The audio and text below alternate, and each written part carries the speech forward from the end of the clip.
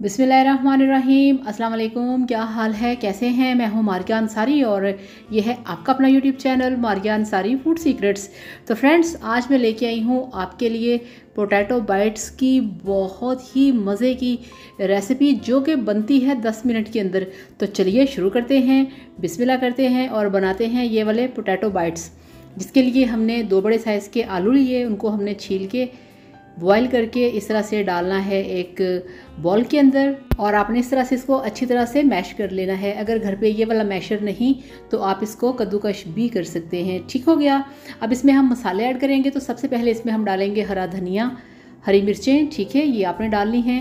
Half teaspoon इसमें हम डालेंगे लाल मिर्च का पाउडर हाफ़ टी स्पून नमक हाफ़ टी स्पून इसमें हम डालेंगे ज़ीरा पाउडर हाफ़ टी स्पून डालेंगे इसमें खुश्क धनिया powder one fourth teaspoon इसमें हम डाल देंगे हल्दी, जिससे कि बड़ा अच्छा कलर आएगा पोटैटो बाइट्स का।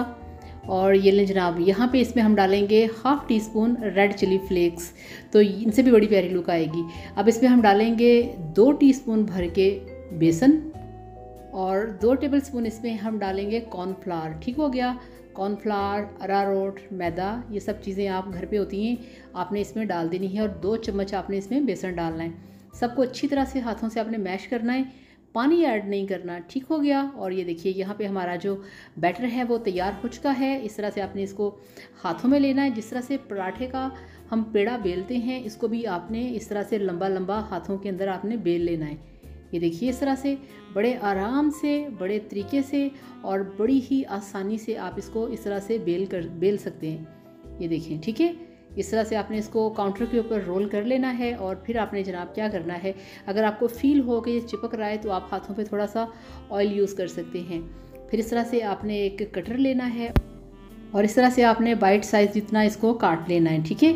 अगर आप चाहें तो इस पूरे एक लंबे वाले स्लाइस का आप दो पीस करके बड़ा साइज़ भी इसका काट के बना सकते हैं फिंगर जितना, ठीक है? तो हम इसको बना रहे हैं बाइट साइज़ में तो हमने इसका बाइट साइज़ ही बनाया है। तो इसी तरह से सारे तैयार कर लेंगे। तो ये लें जनाब यहाँ पर हमने जो पोटैटो बाइट्स हैं, वो सारे तैयार करके रोल बना के कटिंग करके, इस तरह से प्लेट के अंदर इनको हमने रख लिया है।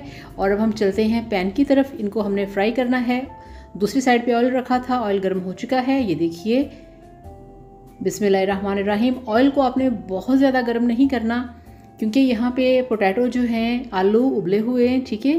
तो यहाँ पे जस्ट हमने कलर देना है। तो इन पर बहुत जल्दी कलर आ जाएगा। इसलिए आपने बिल्कुल स्लो फ्लेम रखना है। और आपने कोशिश करनी है कि जल्दी जल्दी इनको ऑयल के अंदर डाल दें, ठीक है? और फ्लेम आपने स्लो रखना है और आपने पास ही खड़े रहना है, इनके ऊपर बड़ी जल्दी कलर आ जाता है। तो इस तरह से आप देख सकते हैं कितना खूबसूरत जस्ट दो मिनट के अंदर जैसे जैसे ऐड करते गए ऑयल के अंदर इनके ऊपर कलर आता गया है। तो ये लें जनाब, यहाँ से जस्ट दो ढाई मिनट लगे और हमारे बाइट्स जो हैं वो तैयार हो चुके हैं। इनको इस तरह से बिस्मिल्लाहिर्रहमानिर्रहीम हम प्लेट में निकालेंगे। ये ले जनाब तो आपको दिखाते हैं इसकी चटपटी सी फाइनल लुक तो ये लीजिए, अल्हम्दुलिल्लाह, माशाल्लाह माशाल्लाह, आपके पोटैटो बाइट्स बनके तैयार हैं। बहुत टेस्टी चटपटे शाम की चाय के साथ बनाएँ, बच्चों के लंच बॉक्स में बनाएँ, बारिश वाले दिन बनाएँ। जब दिल करे बना के इंजॉय कर सकते हैं। जस्ट 10 मिनट में तैयार होने वाली रेसिपी है।